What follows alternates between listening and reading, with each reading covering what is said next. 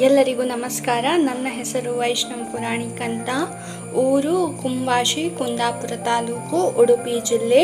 ಇಂದು ನಿಮ್ಮ ಮುಂದೆಯಲ್ಲಿ ವಿದ್ಯಾರ್ಥಿಗಳ ಯಶಸ್ಸಿನಲ್ಲಿ ಗುರುಗಳ ಪಾತ್ರ ಎಂಬ ಶೀರ್ಷಿಕೆ ಅಡಿಯಲ್ಲಿ ಭಾಷಣ ಮಾಡಲು ಬಯಸುತ್ತಿದ್ದೇನೆ. ನಮ್ಮ ದೇಶದ ವೈಶಿಷ್ಟ್ಯ ಎಂದರೆ ಗುರು ಶಿಷ್ಯರ ಪರಂಪರೆ. ಗುರುಗಳೇ ನಮ್ಮನ್ನ ಅಜ್ಞಾನದಿಂದ ಹೊರಗೆ ತಳ್ಳುತ್ತಾರೆ. ಶಿಕ್ಷಕರು ನಮ್ಮ ಗುರುಗಳೇ ಎನ್, ಅಂದಿದ್ದಾರೆ.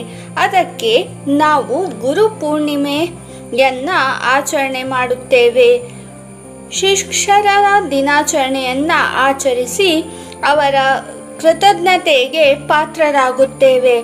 ಪ್ರಪ್ರಥಮವಾಗಿ ಗುರು ಈ ಶಬ್ದದ ಅರ್ಥವನ್ನು ತಿಳಿದುಕೊಳ್ಳೋಣ. ಗುರು ಎಂದರೆ ಅಂಧಕಾರ.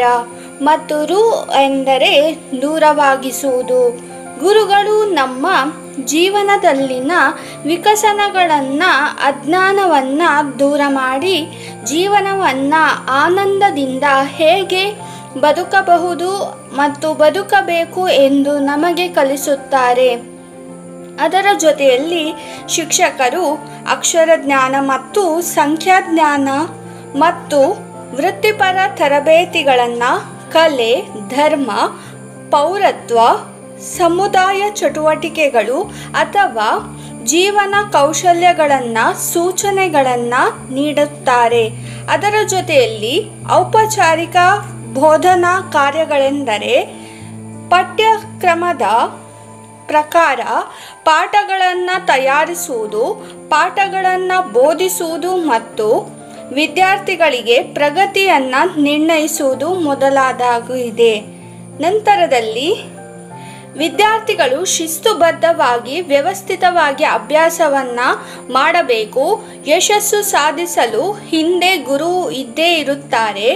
ಅದರ ಜೊತೆಯಲ್ಲಿ ಗುರುವಿಗೆ ಮುಖ್ಯವಾಗಿ ಗುರಿ ಜೊತೆಗೆ ಛಲ ಇರಬೇಕು. ಅಂದಾಗ ಮಾತ್ರ ಅವಕಾಶ ಸಿಗುತ್ತದೆ.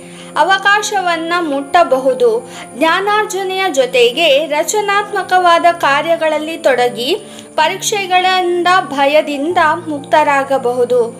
ಬೋಧನಾ ವೃತ್ತಿ ಅತ್ಯಂತ ಶ್ರೇಷ್ಠ ವೃತ್ತಿಗಳಲ್ಲಿ ಒಂದು ಎಂಬುದನ್ನು ಪರಿಗಣಿಸಿರುವ ದೇಶ ಎಂದರೆ ನಮ್ಮದು.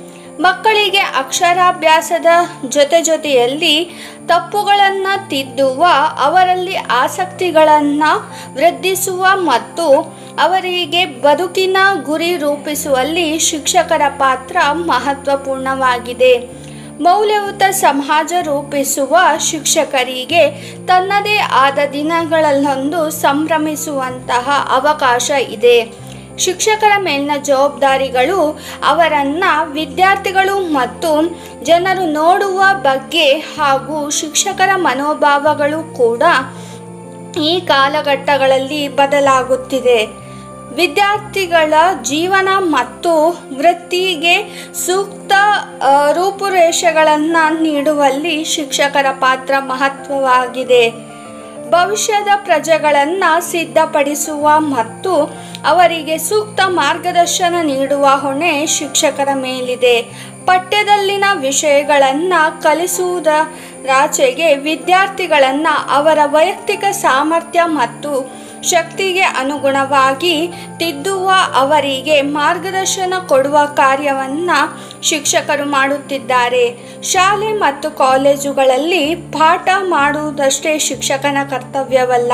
ಶೈಕ್ಷಣಿಕದ ಬದುಕಿನ ಆಚೆಗೆ ನಮಗೆ ಹಲವಾರು ರೀತಿಯ ಗುರುಗಳು ಸಿಗುತ್ತಾರೆ. ನಮ್ಮ ಬದುಕಿಗೆ ಸುಂದರವಾದ ಚೌಕಟ್ಟು ನೀಡುವರು ಗುರಿ ನೀಡುವುದರ ನೀಡುವುದರ ಜೊತೆಯಲ್ಲಿ ಗುರಿ ಮತ್ತು ಗುರು ಇದ್ದರೆ ಮಾತ್ರ ಯಶಸ್ಸು ಖಂಡಿತ ಎಂಬ ಮಾತಿದೆ. ಇಂತಹ ಕಠಿಣ ಯಶಸ್ಸು ಪರಿಶ್ರಮ ನೀಡಿದಂತಹ ಶಿಕ್ಷಕರಿಗೆ ನಾವು ಗೌರವವನ್ನು ಸಲ್ಲಿಸೋಣ. ಅವಕಾಶಕ್ಕಾಗಿ ಧನ್ಯವಾದಗಳು.